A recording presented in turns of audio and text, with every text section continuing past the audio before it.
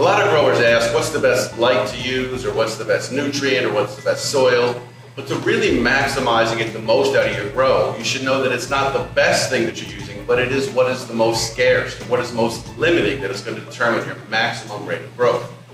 So check out our video about limiting factors so that you can get the most out of your plants.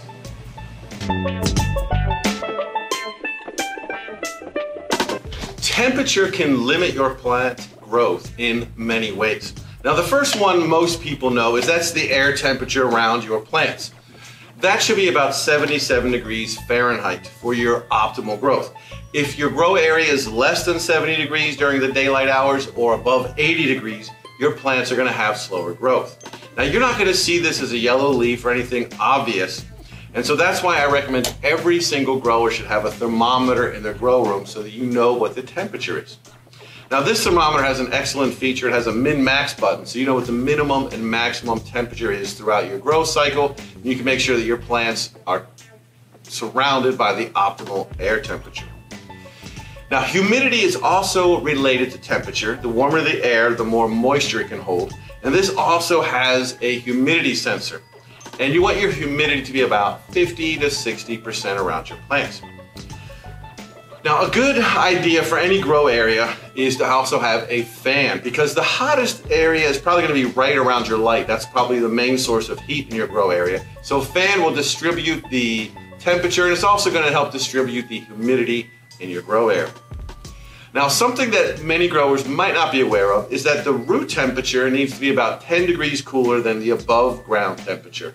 And so this thermometer has an excellent feature, has this little probe and this actually can take the temperature as well. And so you can take the probe and you can put it down here at the base to see what it is, or you can actually stick it right in the dirt and see what the temperature of your soil medium is. If your medium is not about 10 degrees cooler than the above ground part, then you're going to get slower growth. Now, the third way that temperature can limit your growth is with the day and night temperatures most plants are going to regulate what's going on with the temperature. And so indoors, a problem many growers have is that when they turn their lights off, they also turn the ventilation fans and the temperature stays relatively constant in the grow room. And that's not the best for plants. Your nighttime temperature should be dropping about 10 degrees Fahrenheit compared to your daytime temperature, especially if you have plants that are flowering. Because if the temperature doesn't change, plants might get a little stressed or not understand what's going on, and you're going to get a poor flowering response if you don't have this drop in nighttime temperatures.